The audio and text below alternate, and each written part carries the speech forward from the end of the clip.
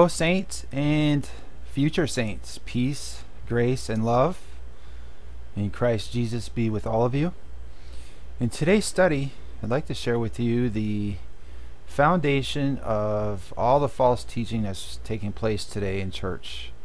Uh, you know, the body of Christ, all these different religions that we see out there, all these different uh, different studies that we see all, all over the internet, all the false teaching, all the different news.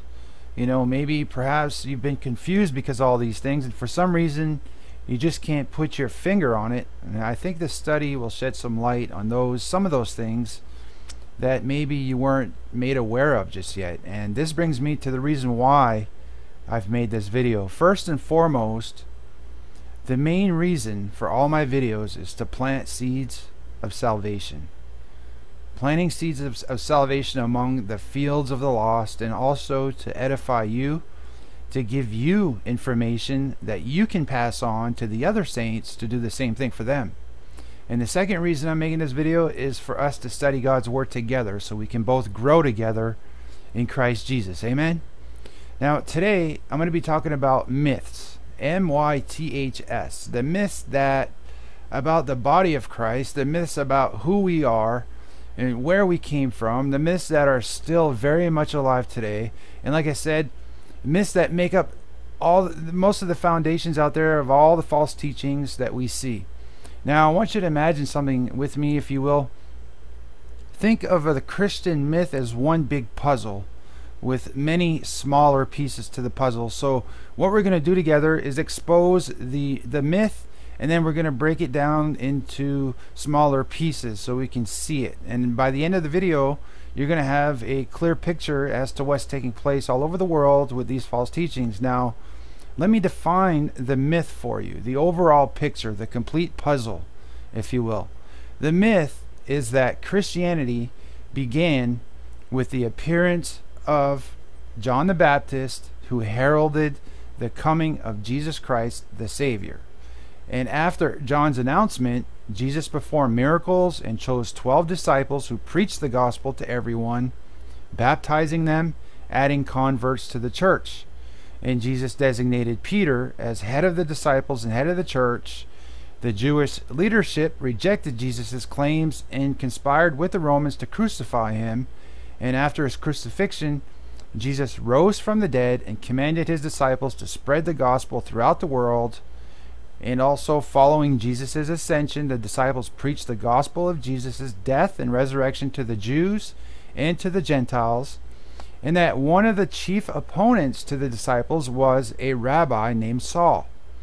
And in a dramatic confrontation, God saved Saul, who became Paul. And Paul joined Peter and the other apostles, the twelve, and preached the same gospel as they did. They baptized and performed miracles. Okay, now what I've just read to you is the overall picture of this Christian myth. Now, although some parts may be true, the message in itself is false and has caused confusion and contention and false religions to, to sprout all throughout the world. Like all the other studies we do, we need to make our foundation based on right division, understanding how God's word is written, and we need to compare what people say to what God actually does say in his word. And like we know, right division is the key. And in order to rightly divide, we need to ask the questions of who, what, where, when, why, and how. So now that we've we've got this big picture of this myth. Let's break it down a little bit by bit and expose the wolves amongst the sheep, shall we? Now, the first part we need to look at is the statement that Christianity began with the appearance of John the Baptist, who heralded the coming of Jesus Christ. Now, for those of us who rightly divide and understand dispensations of God, we know that the body of Christ was a mystery it was a secret that was revealed only to the Apostle Paul.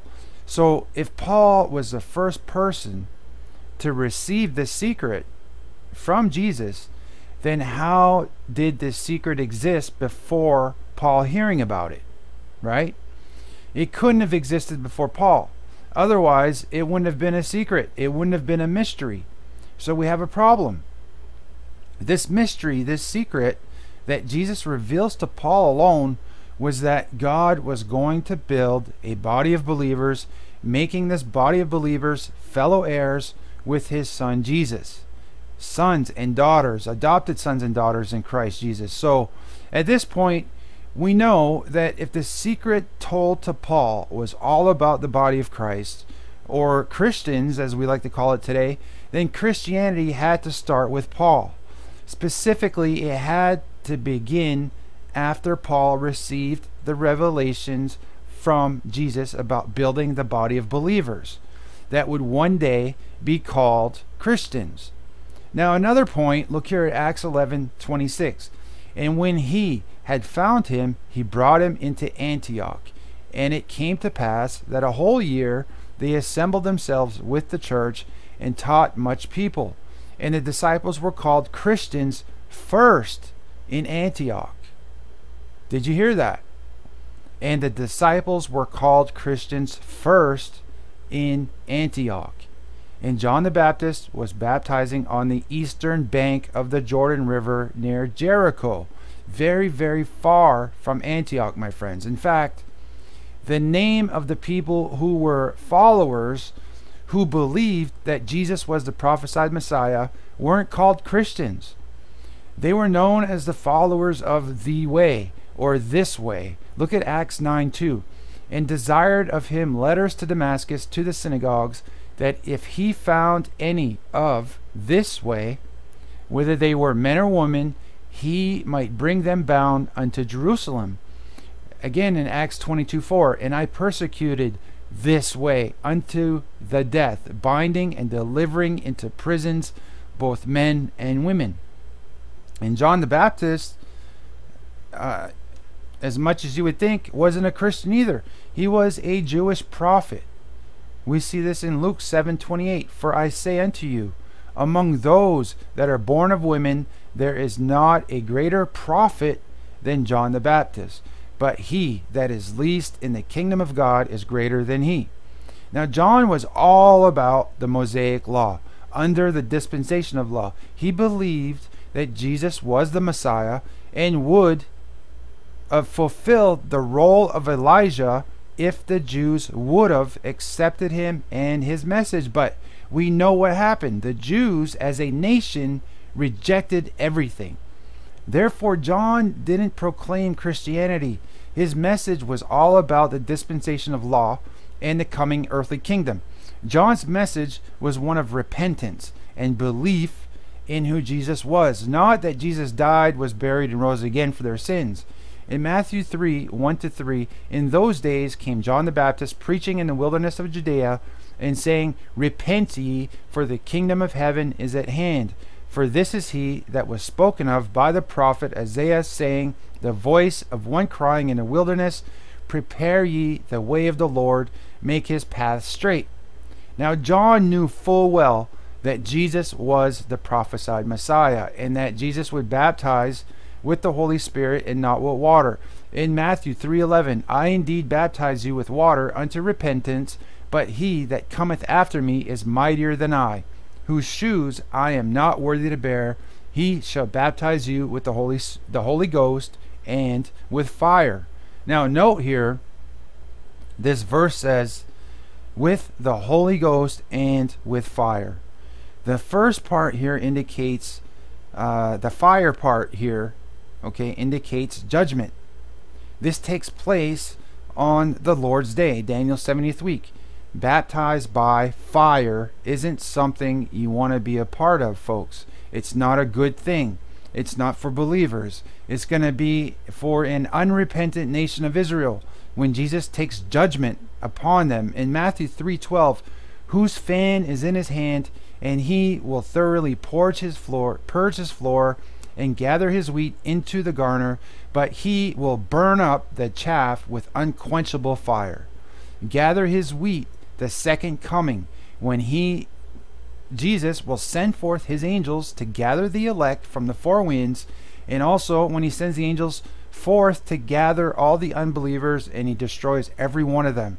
Now, we also see in another side of John that he, he was a great man, but he too had his doubts over who Jesus was, if he was the real Messiah. And we see in Matthew 11, verse 2 and 3 Now, when John had heard in the prison the works of Christ, he sent two of his disciples and said unto him, Art thou he that should come, or do we look for another? Now, can you picture this? I can imagine our Lord's reaction when he heard this his mouth hitting the ground, shaking his head, thinking, What did you just say to me? After everything John had seen already, yet he still doubted that Jesus was the Messiah, and he was questioning if he was truly the Messiah that was prophesied. But our Lord is merciful, and he answers John's question here in Matthew 11 4 to 6. Jesus answered and said unto him, Them, Go and show John again those things which ye do hear and see. The blind receive their sight, and the lame walk, and the lepers are cleansed, and the deaf hear. The dead are raised up, and the poor have the gospel preached to them. And blessed is he whosoever shall not be offended in me. Now, Jesus here quotes one of the old prophecies that the Messiah would give sight to the blind, would make the lame walk, would clean, would cleanse the lepers, and would give the deaf their, their hearing again. Okay, they would he would raise people from the dead, and he would preach the gospel of the kingdom to the poor. And John was well aware of these prophecies, and that's why Jesus answers him using these things, all part of the Old Testament prophecies that John had seen and read all about his entire life in the synagogues. Now, later on, we see John declaring that Jesus was the Lamb of God. He would take away the sins of the world. What John was actually thinking when he said this remains unclear because he couldn't have known about Jesus being killed and then raising from the dead. Not even the 12 knew about this, okay? They, they were all still spiritually blinded to this fact. In Luke's 18 31 to 34, then he took upon him the 12 and said unto them, Behold, we go up to Jerusalem, and all things that are written by the prophets concerning the Son of Man shall be accomplished.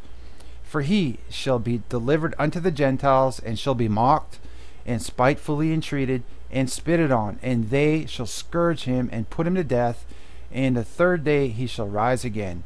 And they understood none of these things, and this saying was hid from them, neither knew they the things which were spoken. It wasn't until after the resurrection that Peter and John understood that Jesus would rise from the dead. We see that in John 20, 8 and 9. Then went in also that other disciple which came first to the sepulchre, and he saw and believed. For as yet they knew not the scripture that he must rise again from the dead. Now, even further, they didn't preach Jesus' death and resurrection even after it occurred. They could they, they continued to preach the gospel of the kingdom, repentance and belief. In Acts 2, 37 to 38, now when they heard this, they were pricked in their heart and said unto Peter and the rest of the apostles, Men and brethren, what shall we do? Then Peter said unto them, Repent and be baptized, every one of you, in the name of Jesus Christ for the remission of sins, and ye shall receive the gift of the Holy Ghost. Now, we don't see anything about our gospel here at all. There's no 1 Corinthians 15 1 through 4, obviously, because Paul hadn't received the new gospel, the gospel of grace, our gospel for today. So, are you beginning to see the differences yet? There's two different gospels.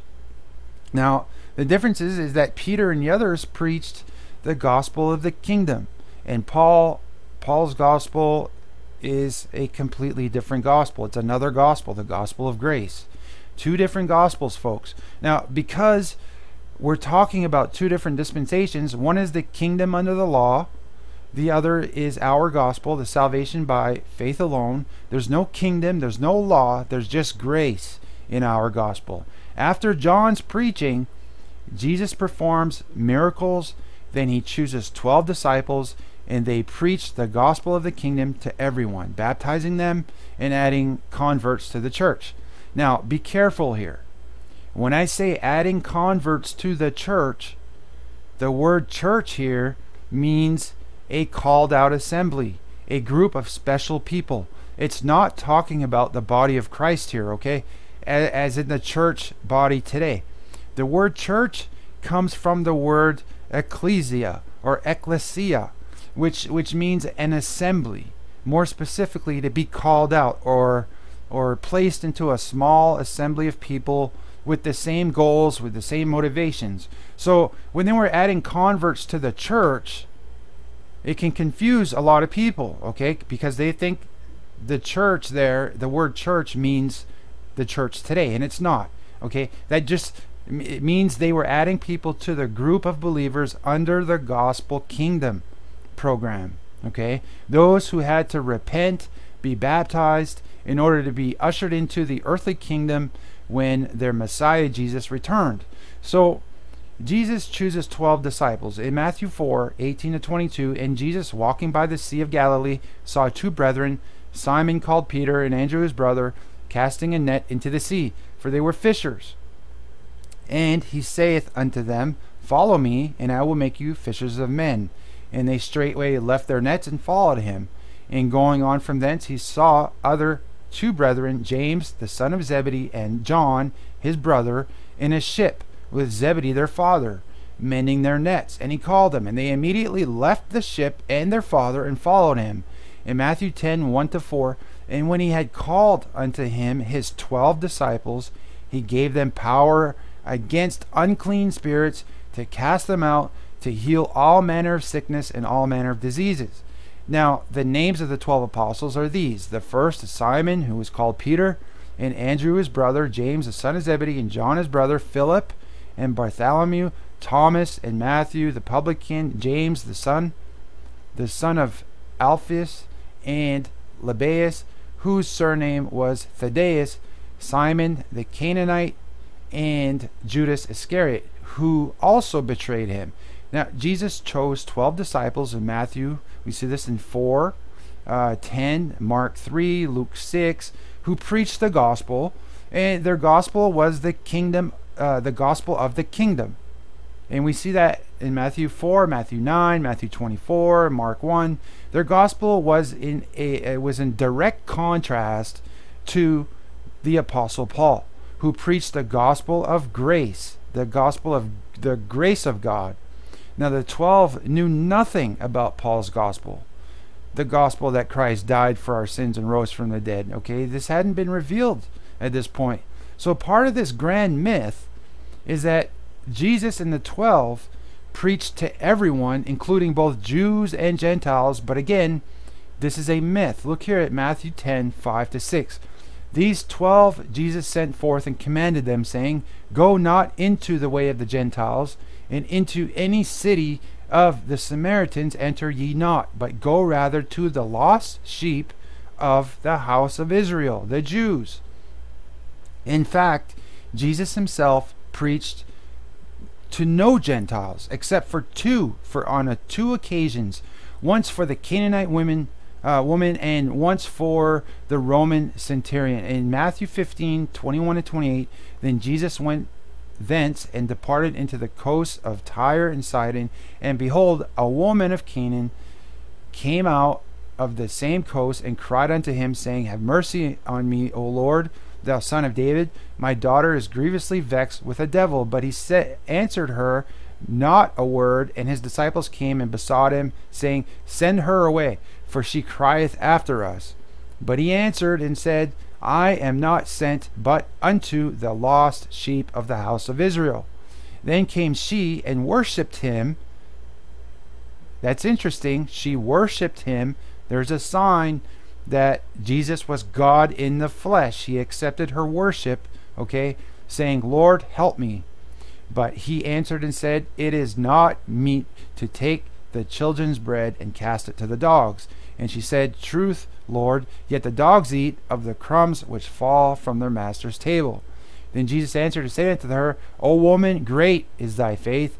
Be it unto thee as thou wilt. And her daughter was made whole from that very hour.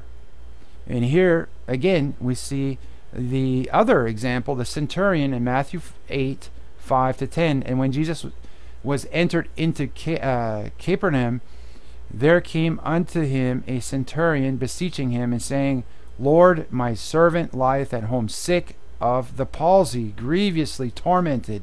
And Jesus saith unto him, I will come and heal him.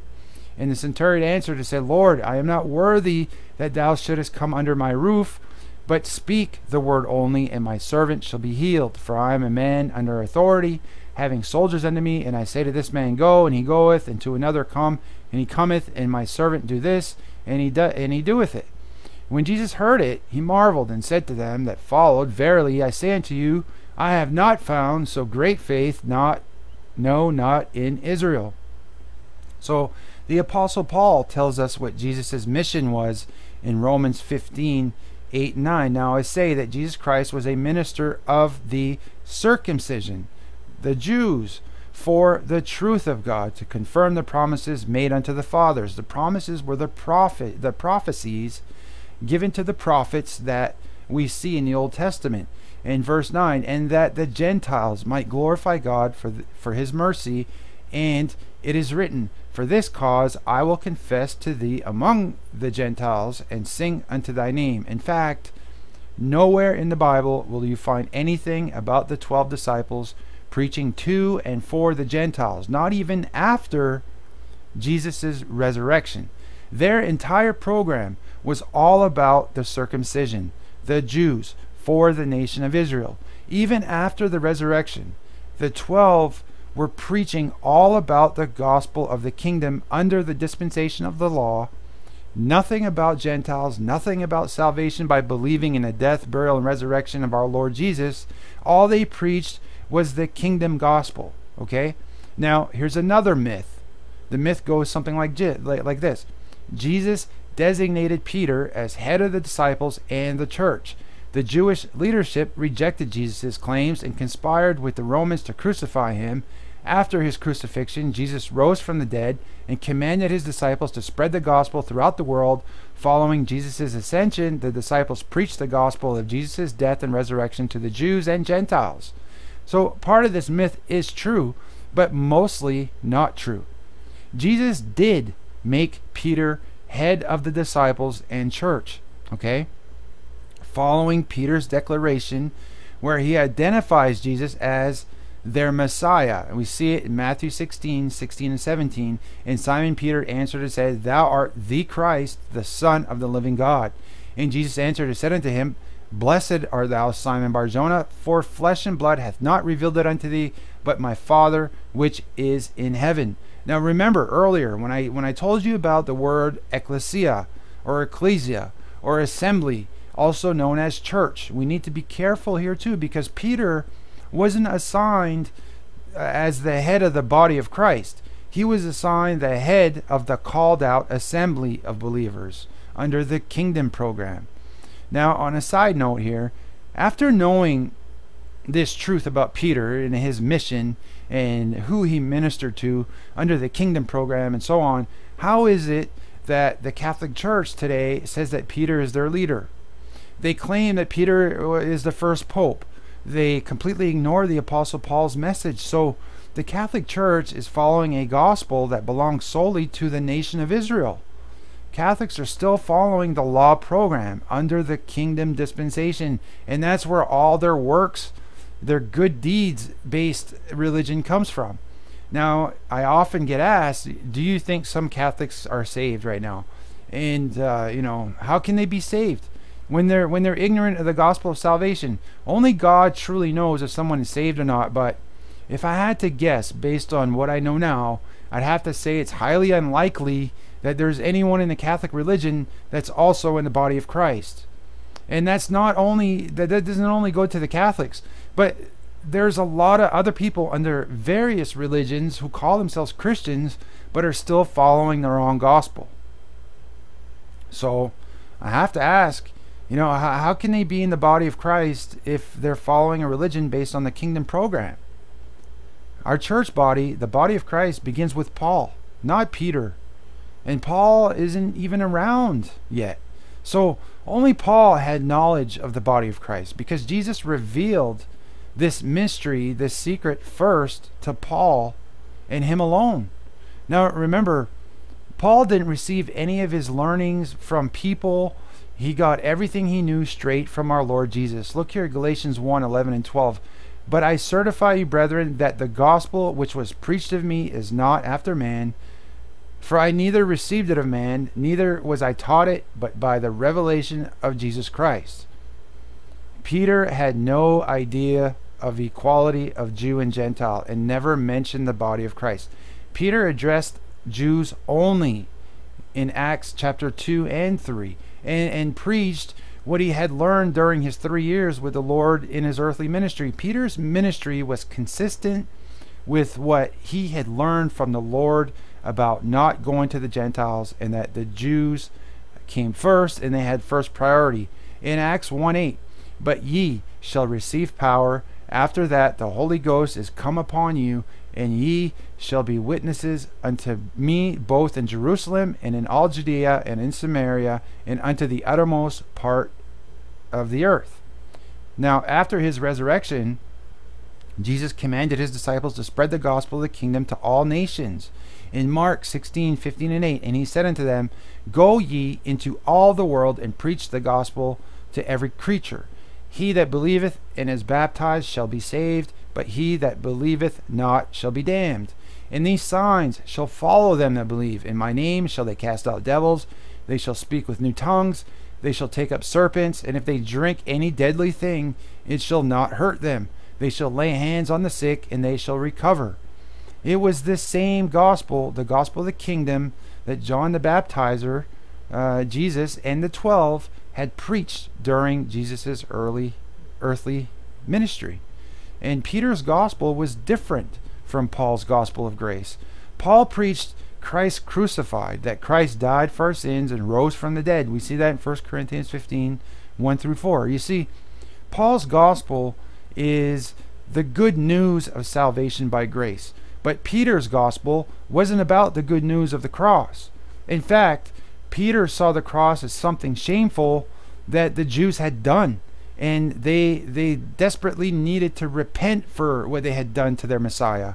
And we see that in Acts 2:23.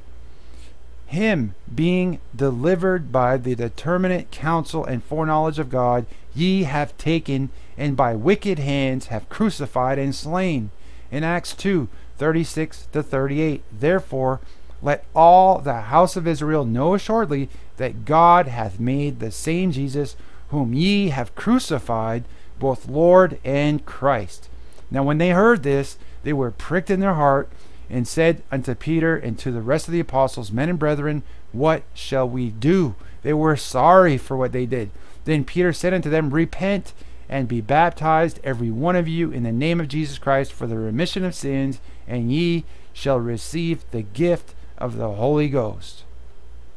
In Acts 3 13 to 20, the God of Abraham and of Isaac and of Jacob and Jacob of Jacob, the God of our fathers, hath glorified his son Jesus, whom ye delivered up and denied him in the presence of Pilate, when he was determined to let him go. But ye denied the Holy One and the just, and desired a murderer to be granted unto you, and killed the Prince of Life, who God had raised from the, who God had raised from the dead, whereof we are witnesses. And his name, through faith in his name, hath made this man strong, whom ye see and know. Yea, the faith which is by him hath given him this perfect soundness in the presence of you all.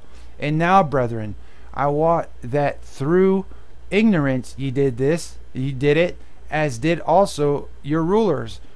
But those things which God before had showed by the mouth of all his prophets that Christ should suffer, he hath so fulfilled.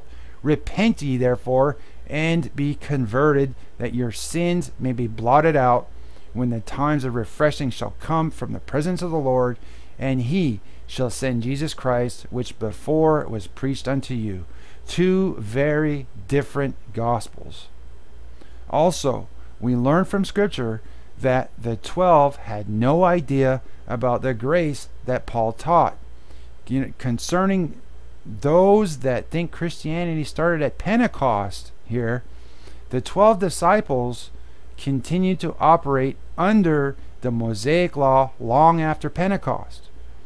Now, Peter, after receiving the vision to go to the house of Cornelius, this was eight to ten years after Pentecost, was still operating under the law, under the kingdom program. And we see just before Peter goes to Cornelius how he feels about it in Acts 10:28. And he said unto them, Ye know how that it is an unlawful thing for a man that is a Jew to keep company or come unto one of another nation. But God has showed me that I should not call any man common or unclean. And again, we see Peter's stance on this at the Jerusalem Council in 51 AD. The twelve were still following the law or the dispensation of law, even going so far as to say that unless Gentiles also followed the law, they couldn't be saved. Look at Acts 15:1. And certain men which came down from Judea taught the brethren and said, Except ye be circumcised after the manner of Moses, ye cannot be saved. In Acts 15:5 to 6, but there rose up certain of the sect of the Pharisees which believed, saying that it was needful to circumcise them and to command them to keep the law of Moses. See, they're talking about Gentiles here. They're saying that it was required for the Gentiles to be circumcised and to keep the law in order for them to be saved. They, they were confused over this. Verse 6 And the apostles and the elders came together for to consider of this matter. They were discussing the situation and they, they were still following the law, even in 51 AD. And we see Peter here, he takes Paul's side here in Acts 15 7 11. And when there had been much disputing, Peter rose up and said unto them, Men and brethren, ye know how that a good while ago God made choice among us that the Gentiles by my mouth should hear the word of the gospel and believe. And God, which knoweth the hearts, bear them witness, giving them the Holy Ghost, even as he did unto us, and put no difference between us and them, purifying their hearts by faith. Now therefore, why tempt ye God to put a yoke upon the neck of the disciples, which neither our fathers nor we were able to bear? But we believe that through the grace of the Lord Jesus Christ, we shall be saved even as they. Now, the point I want you to see here is this how much time had passed between the conversion of Paul and when Peter and the rest were still preaching the law or the dispensation of law uh, needed for salvation, even to the Jews? How much time had passed from that point to the Pente- from Pentecost to when Peter went to Cornelius and uh, when Paul's conversion took place? Paul's conversion took place somewhere around 34 AD. All right. And we see here Peter and the other Jews arguing over what the Gentiles had to do for salvation. This was 17 years later. Okay?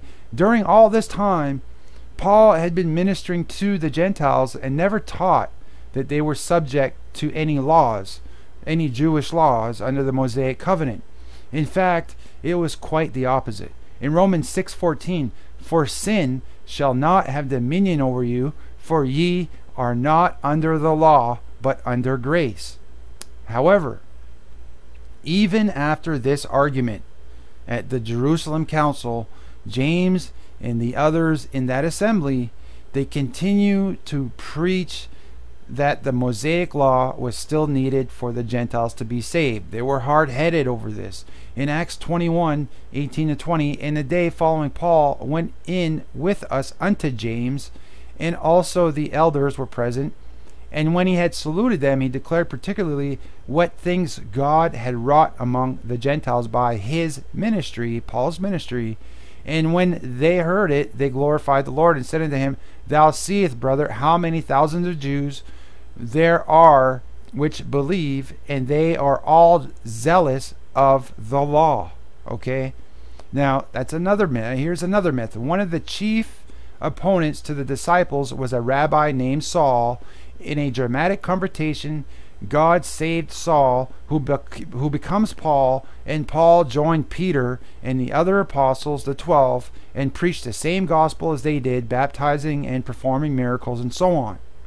So the first part here is true. Saul was a rabbi, and he, he led the Sanhedrins, uh, the persecution against everyone, especially the Jews who were following the way, okay, followers of Jesus Christ. Now remember, the way was the teaching of repent and be baptized and follow Jesus. Follow Jesus straight into the coming kingdom, their promised covenant that the nation of Israel would inherit the earthly kingdom, also called the kingdom of heaven on earth. Now, Paul makes a deal with the Sanhedrin leadership that if they would support him financially and they would back him, then Paul would go to Damascus. He would track down all the Jews who were following Jesus and he would arrest them and you know many of them died in the process. And we know the story. As Paul traveling, he as he travels to Damascus, our Lord Jesus confronts him in a very personal and powerful way, and Paul's changed forever after this confrontation, even changing his name from Saul to Paul, okay, becoming the apostle to the Gentiles. We read about Paul's conversion in Acts chapter 9, in verse uh, 1 through 22, Acts chapter 22 and Acts chapter 26. Now, you'd assume that once Paul was converted, he'd go straight to the other 12 and begin his ministry alongside Peter and the rest of them. But that's not what happens. Our Lord Jesus gives Paul a unique position, okay, a unique job. Our Lord Jesus literally sets Paul aside by himself, and Paul is removed from everything going on and the Lord reveals to Paul a new program. Paul's job was to teach a new gospel, specifically to and for the Gentiles. This new gospel, being the gospel of grace, was very different from what Peter and the rest were teaching. They were teaching the gospel of the kingdom. Now, instead of Paul going to Peter and the others right away, Paul goes to Arabia for a couple years, two to three years. Then he heads back to Damascus. And after those years had passed, Paul heads back to uh, Jerusalem to visit with Peter and James for, it says, 15 days. Look at Galatians 1 16 and 19. To reveal his Son in me, that I might preach him among the heathen, immediately I conferred not with the flesh and blood, neither went I up to Jerusalem to them which were apostles before me, but I went into Arabia and returned again unto Damascus. Then after three years, I went up to Jerusalem to see Peter and abode with him fifteen days.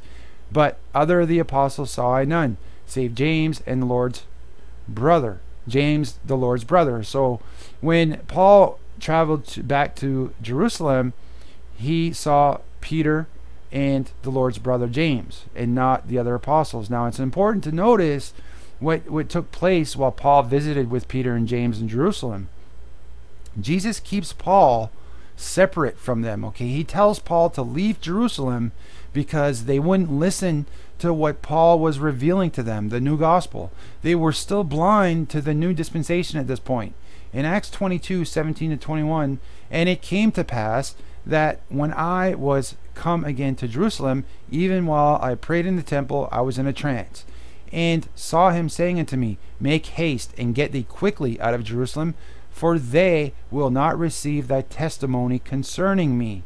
And I said, Lord, they know that I imprisoned and beat in every synagogue them that believed on thee. And when the blood of thy martyr Stephen was shed, I also was standing by, and consenting unto his death, and kept the raiment of them that slew him. And he said unto me, Depart, for I will send thee far hence unto the Gentiles. In the early part of Paul's ministry, as Jesus keeps feeding Paul the new revelation of the gospel of grace, the more Paul learns about the dispensation of grace, we see something interesting. Now, very early in Paul's ministry, he was baptizing just like the, the rest of the 12 were, but as Paul starts understanding what Jesus is revealing to him, he slows down on baptizing more and more. And eventually he stops baptizing altogether. And and eventually he assigns very little meaning to water baptism. Paul's focus wasn't on water baptism. Instead, Paul's focus was all about the baptism of the Holy Spirit, the new gospel program. And we see this gospel in 1 Corinthians 15 1 through 4. But by the time Paul wrote Ephesians, about oh five six years after he wrote Corinthians, he declared that there would only be one baptism. Ephesians 4, verse 4 and 5. There is one body and one spirit, even as ye are called in one hope of your calling, one Lord, one faith, one baptism. The phrase one baptism here, Paul is referring to the baptism of the Holy Spirit. Okay? The very moment you're saved, you're baptized with the Holy Spirit. It is a supernatural, spiritual thing that happens. You're sealed in Christ Jesus forever with the Holy Spirit of promise. This has nothing to do with water at all. In, the early part of Paul's ministry, Paul is given the power to perform miracles, and these miracles actually they did two things. First, they they authenticated Paul's ministry. Second, they were as signs to and for the Jews. And we know the Jews require signs to believe, and they always will. Okay, until finally Jesus comes back and they admit that Jesus is the Messiah. We see this in 1 Corinthians 1:22. For the Jews require a sign and the Greeks seek after wisdom. But notice here that Paul moves fur as he as he moves further into his ministry, he keeps losing the ability to perform miracles. The more Paul pulls away from the Jews and the more he goes towards the Gentiles exclusively, the less and less he's able to perform the miracles that he had earlier with the Jews. Okay? All those miracles were specific to and for the Jews as signs to them. We see Paul losing all ability to perform these miracles here in Philippians chapter 2 verse 25 to 27. Yet I supposed it necessary to send you Epaphroditus, my brother and companion in labor and fellow soldier, but your messenger, and he that ministered to my wants. For he longed after you all, and was full of heaviness, because that ye had heard that he had been sick. For indeed he was sick, nigh unto death. Okay, Paul couldn't heal him. He almost died because he was sick. So right there you see there's something different going on with Paul. He's now he's not he's not able to perform miracles any any longer. So continuing on in 27, but God had mercy on him, and not on, on him only, but on me also, lest I should have sorrow upon sorrow. Okay, First Timothy 5:23. Drink. Here he's talking to Timothy. Drink no longer water, but use a little wine for thy stomach's sake and thine often infirmities. Timothy was often sick. He had a stomach problem. Okay, and back then uh, it was very unsanitary. The water was polluted with cholera and and all kinds of you know salmonella and all these different bacteria and viruses and stuff. Uh, it wasn't like today. They didn't have chlorine and fluoride and all these chemicals, but you know, back then they were often a lot more sick than we are today too. So Paul tells Timothy to take a little bit of wine uh, back then, wine, the alcohol in the wine was used as a sanitizer for water. It sterilized the water. Okay, it killed a lot of the bacteria and the germs inside the water. Uh, so they would put a little bit of wine. They would mix wine and water together, so they would uh, drink it that way. So Paul here is telling him, drink no longer water alone, but use a little wine. Put a little bit of wine in it for your stomach's sake and thine often infirmities. Often infirmities here indicates that Timothy was often sick. And Paul, so, but the point behind this is that Paul was not able to heal Timothy.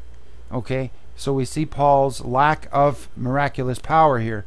In 2 Timothy 4:20, Erastus abode at Corinth, but Trophimus have I left at Miletum sick.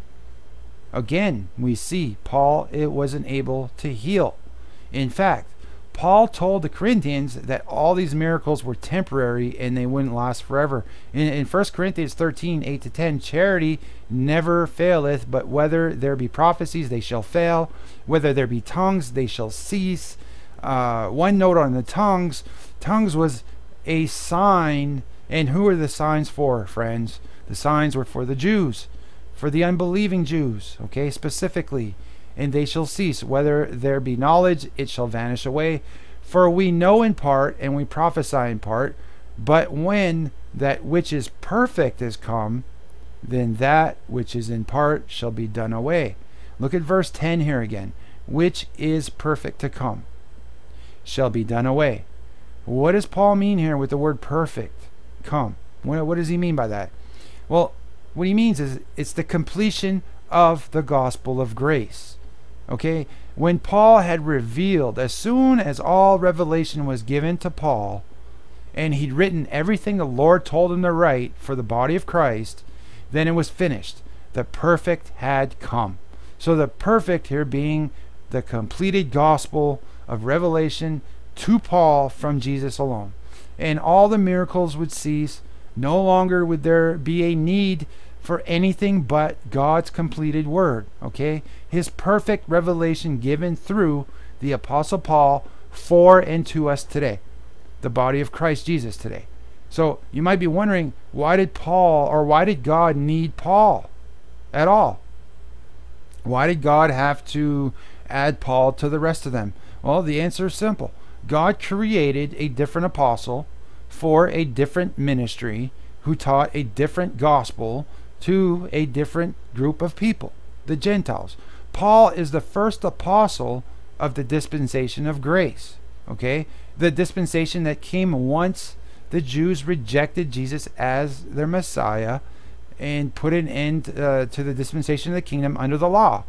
Now, keep in mind that after Jesus was crucified, uh, he gave them a year, a year extension. He had mercy on them, and he gave them a year to still, uh, they still had a chance to accept him as their Messiah and to usher into the, the kingdom. But at the end of that year is when Stephen spoke up as the prophet.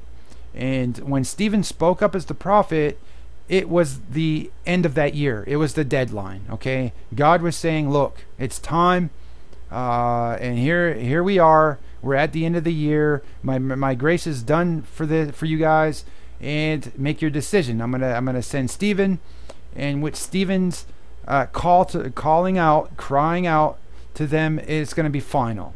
If you reject what Stephen says, then it's over. The dispensation of the kingdom comes to a pause." and God will start a new dispensation through Paul, which lasts 2,000 years, and here we are today.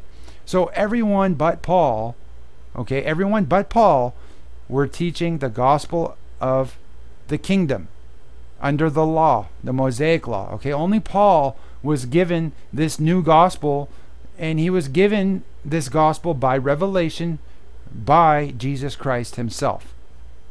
And Paul explains uh, Israel's fall and why the gospel had changed in Romans 11:25.